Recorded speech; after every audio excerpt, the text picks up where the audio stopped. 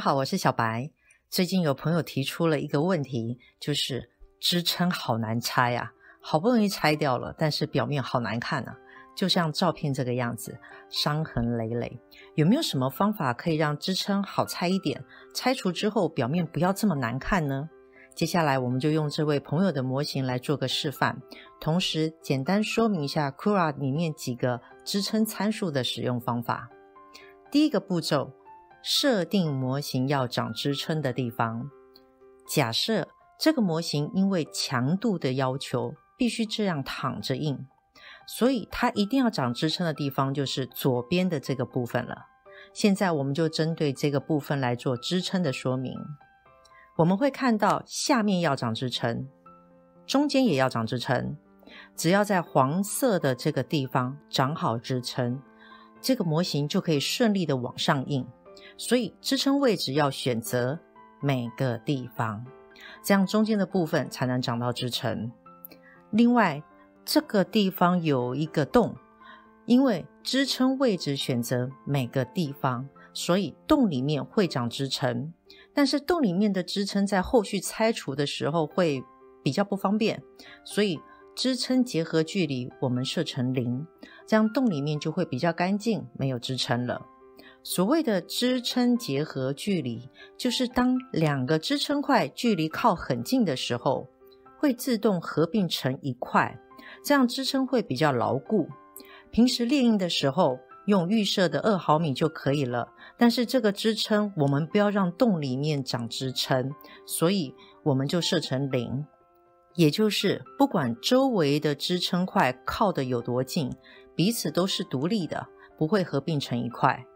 另外，这类模型建议不要勾选使用塔形支撑。使用塔形支撑大部分是用来支撑模型很细小的地方。如果这个模型我们勾选了使用塔形支撑，就算支撑结合距离我们调成了零，洞里面还是有可能长一些支撑，所以不要勾选它。第二个步骤，支撑好不好拆？需要调整以下几个主要的参数。第一个参数就是支撑列印样式，建议选择锯齿状。锯齿状是一整条支撑串联起来的，所以在拆支撑的时候会比较方便。支撑一拉就是一整条。同时，支撑墙壁线条数设零，也就是支撑外围没有额外的墙壁。这样子就有空间让镊子能够伸进去，慢慢的拉支撑，把它拆除掉。就像影片这个样子，一点一点慢慢顺着支撑的路线拉出来，拆除它。第二个参数是支撑填充线条方向。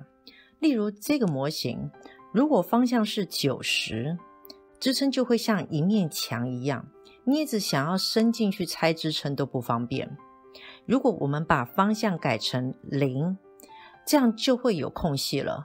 镊子伸进去拆支撑就方便多了。再来看看这个模型，因为是圆的，所以方向设成零或是九十都可以。但是零的方向比九十的方向更好拆，所以我们就设零吧。第三个参数是支撑密度，密度越少，支撑越好拆。一般设十到二十就可以了，我们就设十五吧。第四个参数，支撑 Z 间距，这是支撑好不好拆最重要的关键参数。支撑 Z 间距就是模型和支撑的垂直距离。支撑 Z 间距的数字必须是层高的倍数，它是一层一层在计算的。例如，层高是零点二。Z 间距就是零点二或零点四或零点六等等的。假设层高零点二，支撑 Z 间距设零点二，模型和支撑之间的距离就是一层。假设 Z 间距是零点四，模型和支撑之间的距离就是两层。如果 Z 间距设零，那模型和支撑就会整个粘在一起，完全拆不下来了。所以 Z 间距越小，支撑越难拆。相反的，Z 间距越大，支撑越好拆。但是表面可能就会有一些掉丝的状况，比较不好看。另外，如果您的线材是属于比较粘的、粘性比较强的，建议 z 间距可以设大一点。例如，层高是零点一五，日间距就可以设三零点三，让支撑和模型之间的距离由一层变两层，这样子会比较好拆一点。一般 PLA 线材日间距是零点二，表面不会太难看，支撑也不会太难拆，但是。层高就必须是零点一或零点二，Z 间距才能设成零点二哦。因为支撑 Z 间距的数字必须是层高的倍数，这个限制也是 Cura 比较不好的地方。有空大家都可以自己变化一下数字，列印出来比较看看。这里支撑 Z 间距我们就统一设零点二八。第五个参数就是支撑 XY 间距。x y 间距就是模型和支撑的平行距离。如果距离设得太近，支撑就会太靠近模型，支撑就不好拆，不小心还可能伤到模型。如果距离设得太远，有些地方可能又找不到支撑。一般我们会设零点八或是一点二的距离，会比较适合一点。这个模型我们就设一点二八，该撑的也撑到了，又不会离模型太近，支撑也比较好拆。以上的参数设定好了之后，原则上拆支撑就不会太难了。但是拆完之后，表面可能会长这个样子，有支撑留下来的疤。如果非常在意的朋友，我们就要进入第三个步骤：支撑好拆，表面又不会太难看的参数设定。有一些模型列印之后，可能还要进行组装，所以表面当然是越平滑越好喽。很多朋友可能就会使用启用支撑界面这个参数，这个参数会让模型的表面撑得比较均匀，但是也因为支撑和模型的接触面积比较大，所以有时候支撑反而变得比较难拆，尤其是像这一个模型的中间，它是属于半封闭的状态，所以就更难拆了。如果直接使用 Cura 预设的参数，就会像影片这个样子，模型跟支撑粘的比较紧，拆支撑拆的很痛苦。这个时候，我们就可以做一些参数上的调整。首先，勾选启用支撑顶板，下面的支撑顶板厚度一定是层高的倍数。例如，层高是零点二，支撑顶板厚度就可以设零点四或零点六。顶板薄一点，有时候会比较好拆。这里我们就设零点四八。再来是支撑顶板密度，想要拆掉支撑之后表面比较好看一点的话，就可以设百分之百或百分之八十。这里我们就设百分百吧。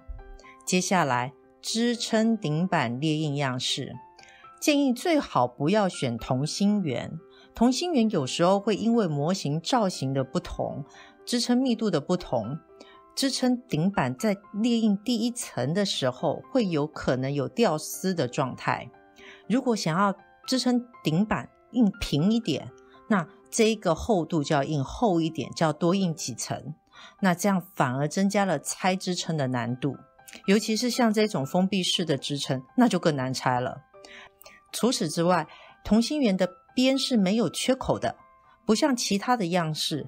它是会有缺口的，那有缺口反而会比较好拆，所以这里支撑顶板裂印样式，我们就先设锯齿状吧。以上三个步骤都调整好了之后，支撑就会比较好拆，表面也不会太难看了。最后，如果觉得还是不够好拆、不够好看，我们可以针对模型和支撑接触到的第一层，例如这个模型的第二十层以及第六十二层。单独针对这两层进行部分的参数调整。首先，先到扩充功能的后处理的修改居扣档案，然后添加一个脚本，选 Change ATZ 这一个。下面的我们就选择层数，再来换层的地方输入十九，表示印完第十九层之后。第二十层要调整参数，再来适用于的这个部分，我们选下面的单层，表示只针对这一层第二十层进行参数调整。接下来，我们就可以降低猎印速度，提高流量，降低温度，让第二十层在猎印的时候可以慢慢的印漂亮，冷却快一点，同时顺利挤出。同样的方法，我们再针对第六十二层也来做这个设定。这样的设定调整之后，猎印的结果也是很好拆，表面也是还不错的。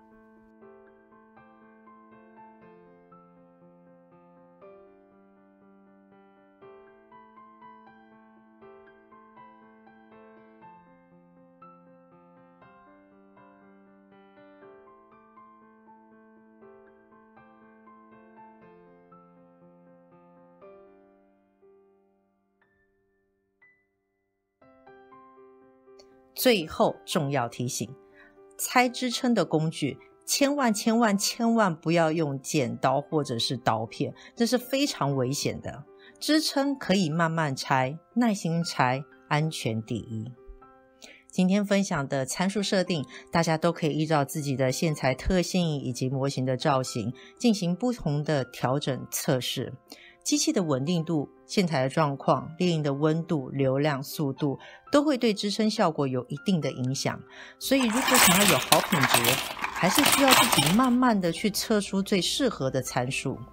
最后，这个模型所有的参数都已经放到网络上了，大家可以在影片的简介中点击连接去观看，做个参考，做个比较。另外，有关支撑的其他教学影片连接也都会放在留言区或是简介中，有需要的朋友都可以点击观看哦。今天的影片就到这里，如果对你有点小小的帮助，还请帮我们三连点赞分享哦，谢谢大家，我们下次见，拜拜。